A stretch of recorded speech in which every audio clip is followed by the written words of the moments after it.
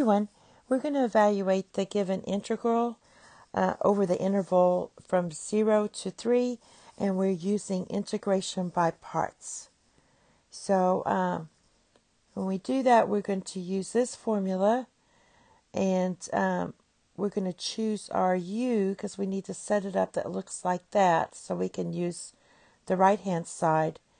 We're going to use uh, logs as our u, and then our r cubed is our uh, for everything else. So basically, you're going to write set it up like u equals ln of r, and dv equals uh, r cubed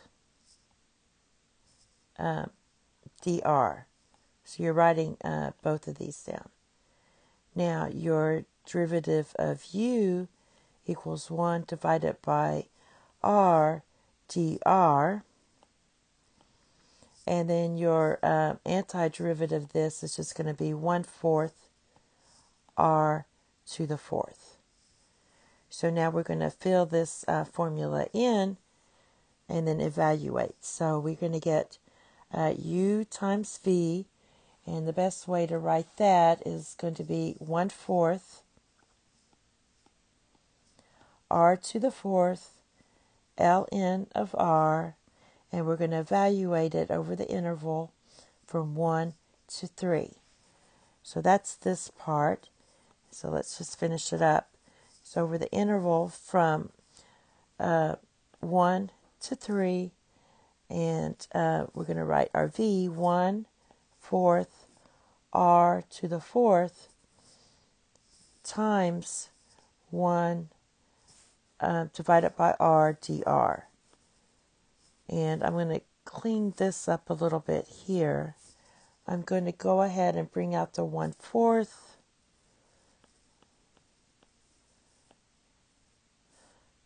I didn't make a good thing there.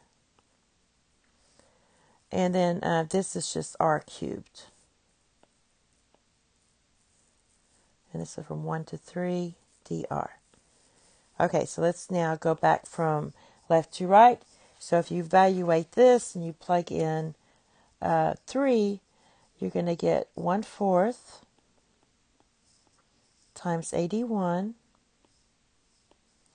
ln of 3 minus and it's going to be 0 because uh, L, remember ln of 1 equals 0. So that's just going to zero that out. So that's going to be minus 0. Put this like in a cloud thing. All right.